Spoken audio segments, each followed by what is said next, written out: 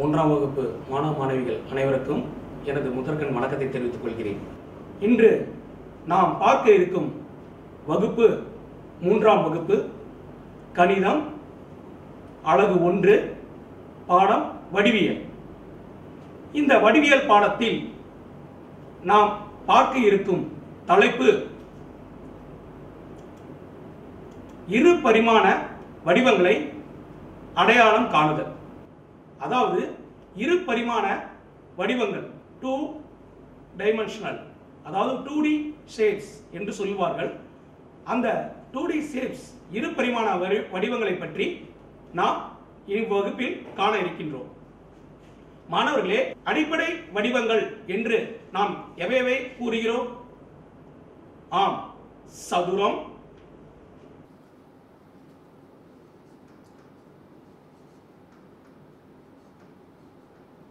செவ்வகம்.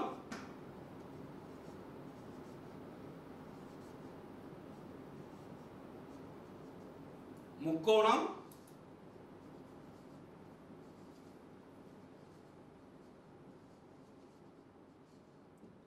வட்டம்.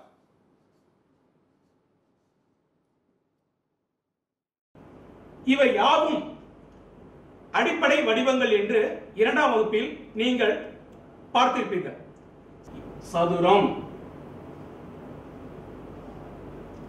செவ்வகம். முக்கோணம். வட்டம். இந்த அமைப்புகளை கொண்ட வடிவங்களை நாம் அடிப்படை வடிவங்கள் என்று இரண்டாம் வகுப்பில் பார்த்திருப்பீர்கள். இப்பொழுது உங்களுக்கு இங்கே படத்தில் காட்டப்பட்டுள்ள சில பொருட்கள் உள்ளன. மாணவர்களே இங்கே திரையில் காணும் படத்தில் உள்ள பொருட்களை பார்த்து வடிவங்களை கூறுவோமா? ஆம். முதல் படம் அளவுகோல். அளவுகோல் எவ்வகை வடிவத்தை பெற்றுள்ளது? செவ்வக வடிவத்தை பெற்று காணப்படுகிறது. அதே போல நாம் விரும்பி உண்ணும் ஐஸ்கிரீம் கோனின் அடிப்பகுதி எவ்வகை வடிவத்தை ஒத்து காணப்படுகின்றது? ஆம் முக்கோண வடிவத்தை ஒற்று காணப்படுகின்றது. அதே போன்று சதுரங்க பலகை.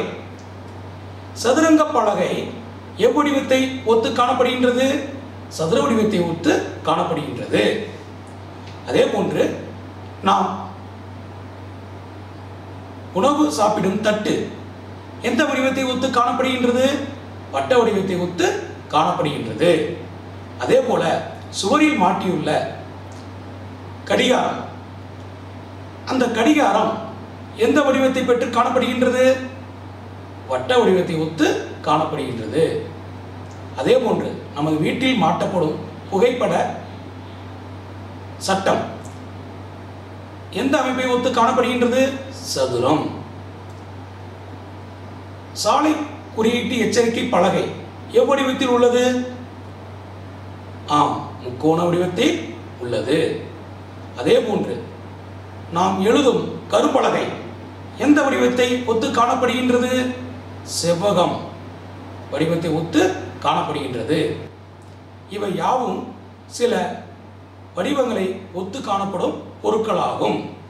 மாணவர்களே திரையில் காணப்படும் இவ்வகை பொருட்களை எடுத்து நாம் வரியொற்றி வரையப்படும் பொழுது ஏற்படும் வடிவங்கள் இரு பரிமாண வடிவங்கள் என்று நாம் கூறலாம்.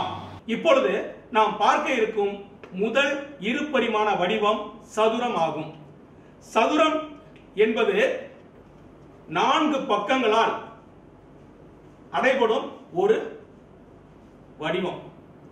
நான்கு பக்கங்களால் மூடப்பட்ட ஒரு வடிவம் வடிவமே சதுரம் எனப்படும். மாணவர்களே இப்பொழுது சதுர வடிவ பொருட்களுக்கு உதாரணங்களாக திரையில் காணும் பொருட்களை காண்போமா? சதுர வடிவ அஞ்சல் தலை. சதுர வடிவ அஞ்சல் தலை சதுர வடிவத்தை ஒத்து காணப்படக்கூடிய ஒரு அமைப்பு. அதே போன்று நாம் விளையாடும் கேரம் பலகை. கேரம் பலகை சதுர வடிவை பெற்றுள்ளது. அதே போன்று சதுர வடிவ கடிகாரம். சதுர வடிவ கடிகாரம் சதுர அமைப்பை பெற்றுள்ளது. அதே போன்று நாம் விளையாடும் சதுரங்க பலகை அதுவும் சதுர அமைப்பை ஒத்தே காணப்படுகின்றது. இவை யாவும் சதுர வடிவ பொருட்களுக்கு உதாரணங்களாக நாம் கூறலாம். இந்த சதுர வடிவத்தை பெற்றிருப்பதற்கான பண்புகள் எவை எவை என்பதை பற்றி இப்பொழுது காண்போம். சதுரம் என்பது நாம் ஏற்கனவே சதுரம் என்றால் என்ன என்ற வரையறையில் சதுரம் நான்கு சமபக்க அளவுகளால் மூடப்பட்ட ஒரு வடிவம் என்று பார்த்தோம். இச்சதுரத்திற்கு நான்கு பக்கங்கள் உள்ளன என்பது முதல் பண்பு. ஒன்று இரண்டு மூன்று நான்கு. இவை யாவும் சதுரத்திற்கு நான்கு பக்கங்களில் உள்ளன என்பதை தெளிவுபடுத்துகிறது. இரண்டாவதாக சதுரத்திற்கு நான்கு முனைகள் உண்டு. நான்கு முனைகள் உண்டு. ஒன்று இரண்டு மூன்று நான்கு. என்று நான்கு முனைகள் உள்ளன. முனை என்பது என்ன? இரு கோடுகள். இச்சதுரத்தில் இரண்டு கோடுகள் சந்திக்கின்ற இந்த இடத்திற்கு பெயர்தான் முனை என்று பெயர். அப்படி பார்த்தோமானால் நமக்கு இந்த சதுரத்தில் நான்கு முனைகள் உள்ளன என்பது தெளிவாகின்றது. இதற்கு அடுத்தபடியாக இந்த சதுரத்திற்கு நான்கு பக்கங்களும் சமமாக இருக்கும். இது அடுத்த பண்பு. இதற்கு அடுத்தபடியாக சதுரத்தில் மூளை விட்டம் என்றதொரு அமைப்பு காணப்படுகிறது. அது இந்த மூளை விட்டம் காணுவதற்கு ஒரு செயல்பாட்டை நாம் இப்பொழுது பார்க்கலாம். அதாவது ஒரு சதுர வடிவ வெள்ளைத்தாளை எடுத்துக்கொள்ள வேண்டும். அந்த சதுர வடிவ வெள்ளைத்தாளில் நான்கு முனைகளில் இரு எதிர்முனைகளை மாற்றி மடிக்கப்படும் பொழுது ஏற்படும் குறுக்கே ஏற்படும் இக்கோடே இச்சதுரத்திற்கு மூளைவிட்டம் என்று பெயர். அதே போன்று மடிக்கப்படாத மற்ற இரு முனைகளை மாற்றி மடிக்கப்படும் பொழுது அவை ஒன்றோடு ஒன்று ஒன்றி குறுக்கே ஒரு கோட்டை ஏற்படுத்தும். இக்கோடே இச்சதுரத்துக்கு மற்றதொரு மூலைவிட்டமாகும். ஆகவே சதுரத்திற்கு எத்தனை மூளைவிட்டங்கள் உள்ளன? ஒன்று இரண்டு இரண்டு. ஆம் சதுரத்திற்கு இரண்டு மூலைகள் உள்ளன.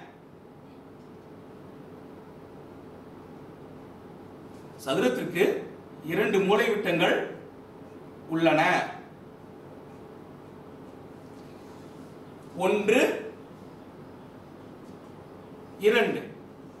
என்று இரண்டு மூளைவிட்டங்கள் உள்ளன. அடுத்தபடியாக இந்த இரண்டு மூலை விட்டங்களும் எவ்வாறு அமைந்திருக்கும்? சதுரத்திற்கு இரண்டு மூலை விட்டங்களும் சமமாக அமைந்திருக்கும். இது இதற்கு அடுத்த பண்பு. ஆகவே மாணவர்களே நாம் இப்பொழுது சதுரத்தின் பண்புகளை தொகுத்து காண்போம். அதாவது சதுரத்திற்கு நான்கு பக்கங்கள் உண்டு நான்கு முனைகள் உண்டு சதுரத்துக்கு நான்கு பக்கங்கள் உண்டு நான்கு முனைகள் உண்டு. நான்கு பக்கங்களும் சமம். சதுரத்துக்கு இரண்டு மூலை விட்டங்கள் உள்ளன. சதுரத்துக்கு இரண்டு மூலை விட்டங்களும் சமம். இவை யாவும் சதுரத்தின் பண்புகளாக நமது பாடப்பகுதியில் கொடுக்கப்பட்டுள்ளன. நாம் அடுத்து பார்க்க இருக்கும் வடிவம் செவ்வகம். செவ்வகம் என்பதும் நான்கு பக்கங்களால் மூடப்பட்ட ஒரு வடிவமாகும். செவ்வகம் என்பதும் நான்கு பக்கங்களால் மூடப்பட்ட ஒரு வடிவமாகும். செவ்வகத்திற்கு இப்பொழுது சில பொருட்களை உதாரணங்களாக பார்ப்போமா? முதலில் பாருங்கள் நமது தேசிய கொடி. நமது தேசிய கொடி எவ்வகை வடிவத்தில் உள்ளது? ஆம் செவ்வக வடிவத்தை ஒத்து காணப்படுகின்றது. அதே போன்று கரும்பலகை. கரும்பலகை எந்த வடிவத்தை ஒத்து காணப்படுகின்றது? செவ்வக வடிவத்தை ஒத்து காணப்படுகின்றது. அதே போன்று தொலைக்காட்சி திரை. தொலைக்காட்சி திரை எந்த வடிவத்தை ஒத்து காணப்படுகின்றது? ஆம். செவ்வக வடிவத்தை ஒத்து காணப்படுகின்றது. அதே போன்று அஞ்சல் அட்டை. அஞ்சல் அட்டையின் வடிவம் செவ்வக வடிவமாகும். இப்பொருட்கள் யாவும் செவ்வக வடிவத்தை ஒத்து காணப்படுவதால் செவ்வக வடிவத்திற்கு உதாரணங்களாக நாம் கூறலாம். செவ்வகத்தின் பண்புகளை அடுத்து காண்போம். செவ்வகத்தின் பண்புகளாக நாம் கூற இருப்பது செவ்வகத்திற்கும் நான்கு பக்கங்கள் உள்ளன. இது முதல் பண்பு. செவ்வகத்திற்கும் நான்கு முனைகள் உள்ளன. இதை இப்பொழுது பலகையில் காணலாம்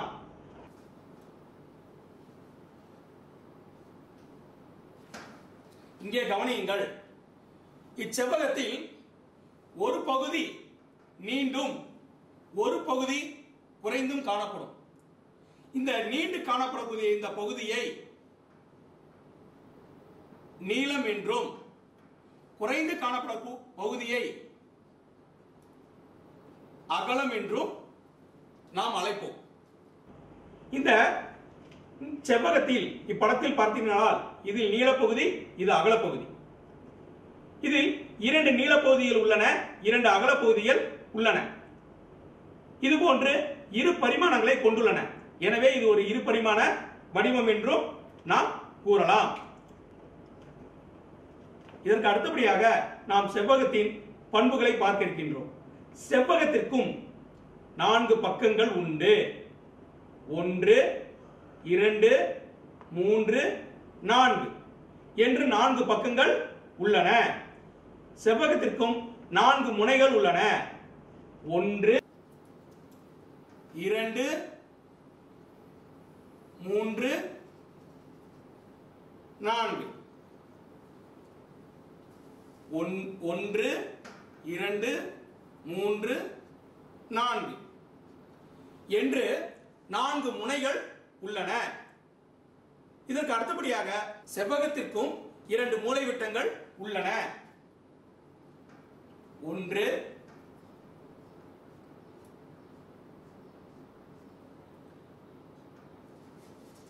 இரண்டு.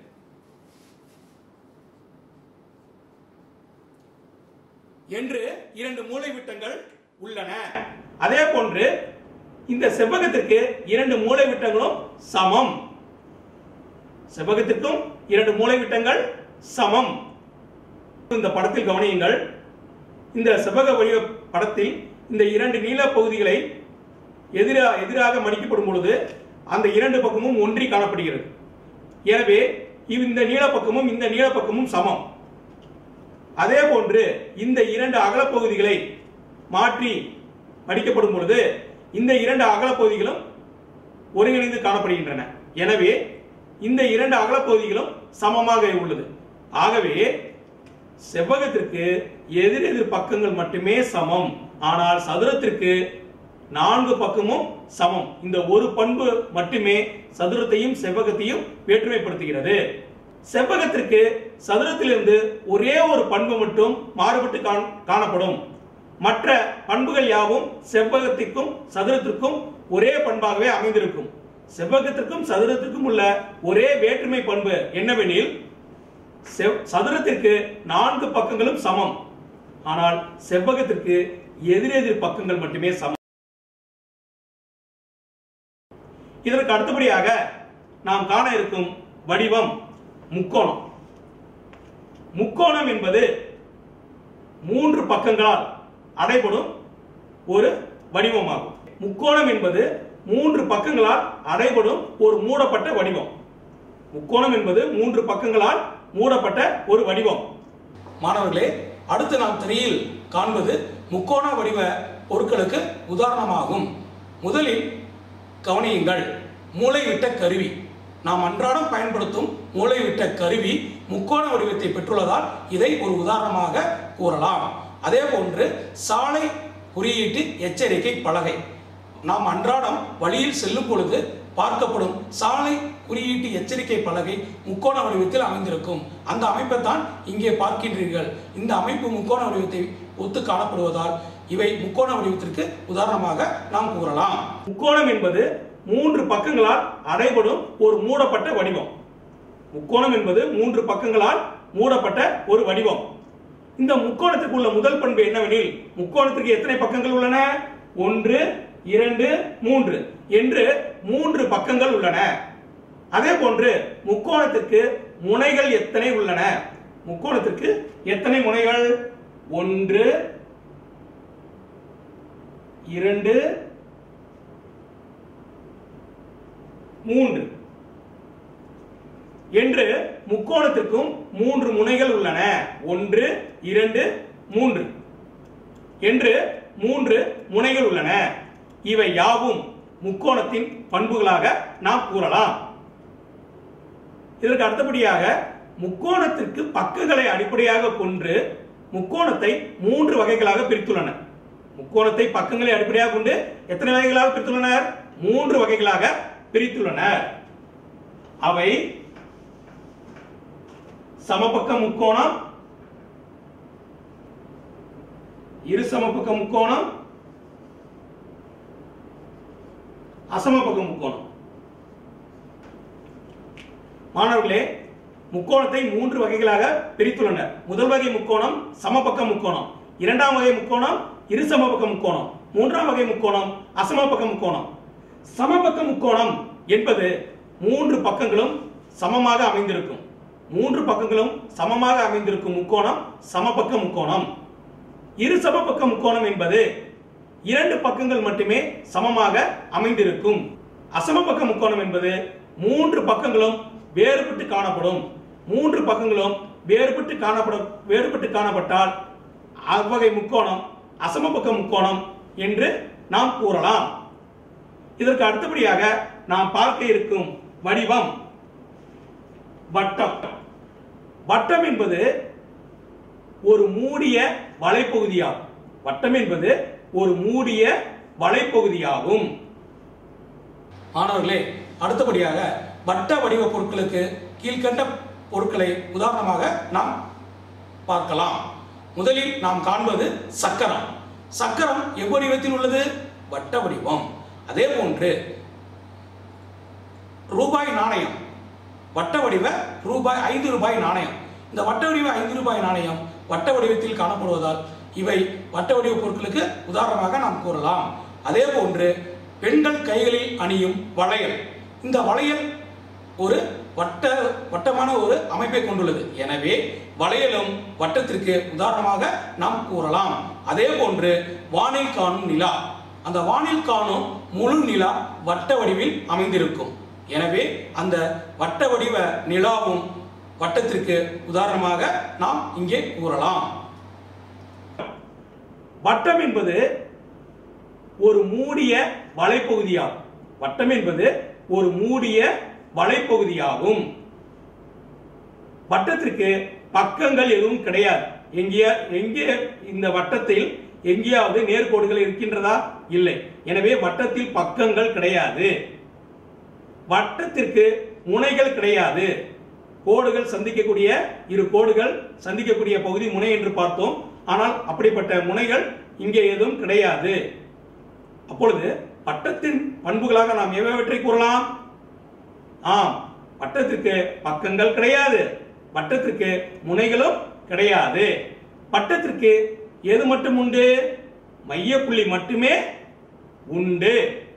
வட்டத்திற்கு ஒரே ஒரு மையப்புள்ளி மட்டுமே உண்டு. இந்த மையப்புள்ளியை மையமாக வைத்துதான் நாம் வட்டத்தை வரைய இயலும். இங்கே கவனியுங்கள். இவ்வட்ட அமைப்பை பயன்படுத்தி வட்டத்தை நாம் வரையலாம்.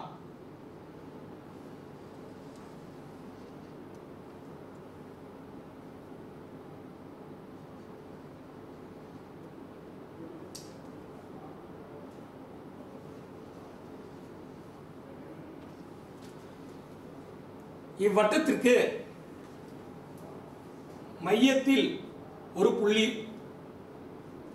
இருக்கின்றோம். இவ்வட்டத்திற்கு மையத்தில் ஒரு புள்ளி அமைந்திருக்கும். இம்மைய புள்ளியை வைத்தே நாம் வட்டத்தை வரைய இயலும். இதற்கு அடுத்தபடியாக நாம் பார்க்கக்கூடிய தலைப்பு சமதளம். இதற்கு அடுத்தபடியாக நாம் பார்க்கக்கூடிய தலைப்பு சமதளம். தட்டையான மேற்பரப்பை கொண்டிருக்கும். இங்கே படத்தில் கவனியுங்கள். இப்பகுதி தட்டையான மேற்பரப்பை கொண்டுள்ளது. இது போன்று தட்டையான மேற்பரப்பை கொண்ட அனைத்து பொருட்களுமே சமதளம் என்று அழைக்கப்படுகின்றது. நம்மை சுற்றி அனைத்து இடங்களிலும் சமதளங்கள் உள்ளன. உதாரணமாக மேசையின் பரப்பு தொலைக்காட்சி திரை பெட்டியின் மேற்பரப்பு மற்றும் புத்தகத்தின் மேற்பரப்பு. இவை யாவும் சமதளத்திற்கு எடுத்துக்காட்டுகளாக நாம் கூறலாம். இதற்கு அடுத்தபடியாக நாம் பார்க்க இருக்கும் தலைப்பு வலைதள பரப்பு. இதற்கு அடுத்தபடியாக நாம் பார்க்க இருக்கும் தலைப்பு வலைதள பரப்பு. வலைதள பரப்பு என்பது இப்படத்தில் கவனியுங்கள். இங்கே காணப்படுகின்ற இந்த உருளையில் நீங்கள் பார்க்கக்கூடிய இந்த வளைந்து காணப்படக்கூடிய இந்த பக்க பரப்பு தான் இந்த உருவத்தின் வலைதள பரப்பு என்று நாம் கூறுகின்றோம். இவ்வுருளையில் நீங்கள் இங்கே பார்க்கக்கூடிய வளைந்து காணப்படக்கூடிய இந்த பக்க பரப்பு இந்த பக்கம் வளைந்து காணப்படுகிறது. எனவே இதைத்தான் நாம் என்ன- என்னவென்று கூறுகிறோம்? வலைதள பரப்பு என்று நாம் கூறுகிறோம். இந்த வலைதள பரப்பிற்கு என்னென்ன பொருட்களை உதாரணங்களாக சொல்லலாம்? உதாரணமாக கோலம் கூம்பு உருளை போன்ற பொருட்களை நாம் உதாரணமாக கூறலாம். எங்கே? இதற்கு இவ்வடிவத்தை ஒத்த சில பொருட்களை காண்போமா? ஆம் பந்து கேரட் பேட்டரி நீர்க்குடுவை மற்றும் எலுமிச்சை. இவை யாவும் வலைதள பரப்பிற்கு உதாரணங்களாக நாம் கூறும் பொருட்களாகும். இதற்கு அடுத்தபடியாக நாம் பார்க்க இருப்பது நேர்கோடு. இதற்கு அடுத்தபடியாக நாம் பார்க்க இருப்பது நேர்கோடு. மாணவர்களே நேர்கோடு பற்றி நீங்கள் அறிந்திருப்பீர்கள். நேராக எவ்வித வளைவுமின்றி செல்லக்கூடிய இக்கோட்டு நேர்கோடு என்று அழைக்கப்படும்.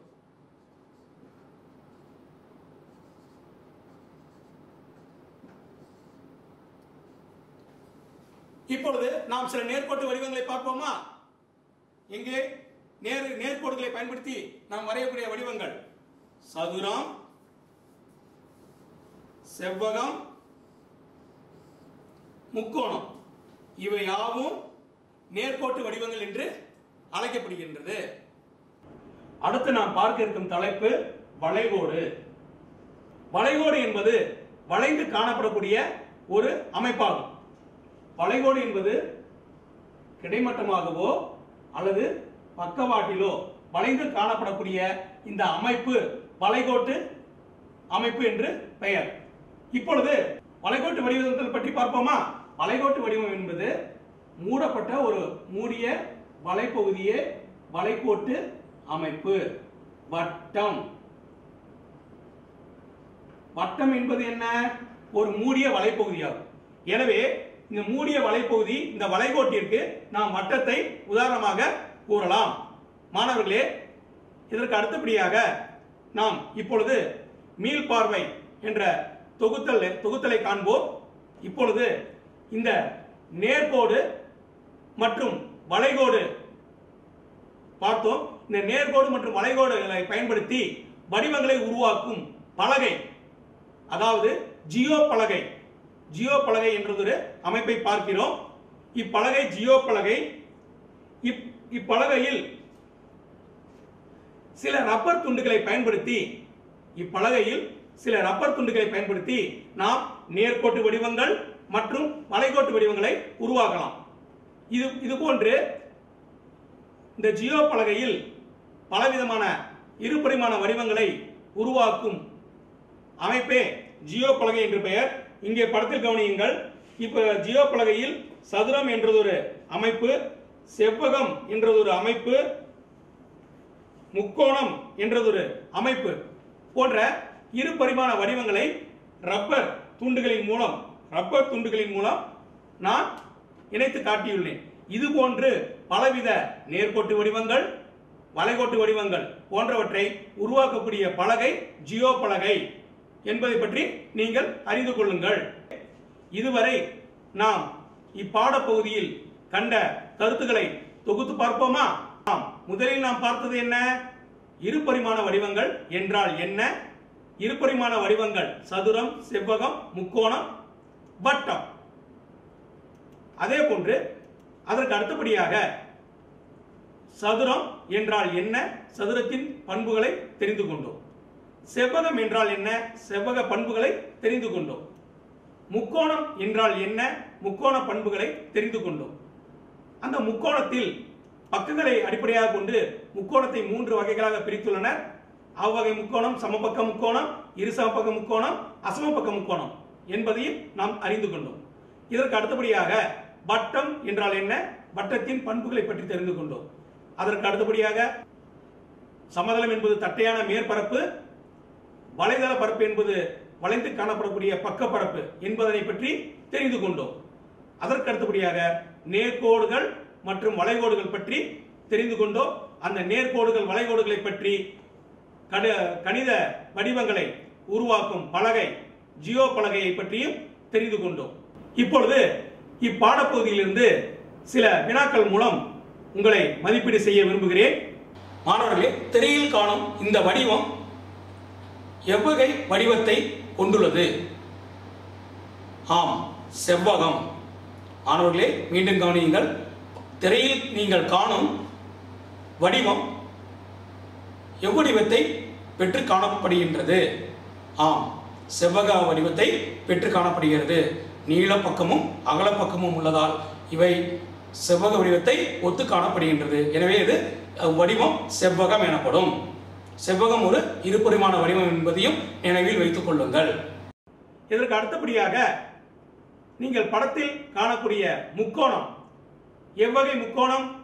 ஆம் இரண்டு பக்கங்கள் சமமாக உள்ளதால் இரண்டு பக்கங்கள் சமமாக உள்ளதால் இவை இரு சமபக்க முக்கோணத்தை சார்ந்தது.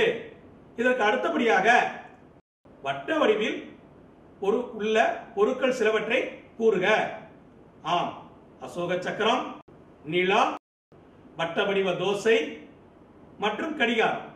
அதற்கு அடுத்தபடியாக நான்கு பக்கங்கள் கொண்ட வடிவங்கள் சிலவற்றை கூறுக. நான்கு பக்கங்கள் மட்டும் உள்ள வடிவங்கள் சிலவற்றை கூறுக. சதுரம் செவ்வகம். ஆமானவர்களே சதுரம் செவ்வகம். இது போன்று சில பயிற்சி வினாக்கள் உங்கள் புத்தகத்தில் உள்ளன. அவற்றிற்கு நீங்கள் பதிலளித்து வீட்டில் பாதுகாப்பாக இருங்கள் என்று கூறி இப்பாடப்பகுதியை நிறைவு செய்கிறேன். நன்றி வணக்கம்.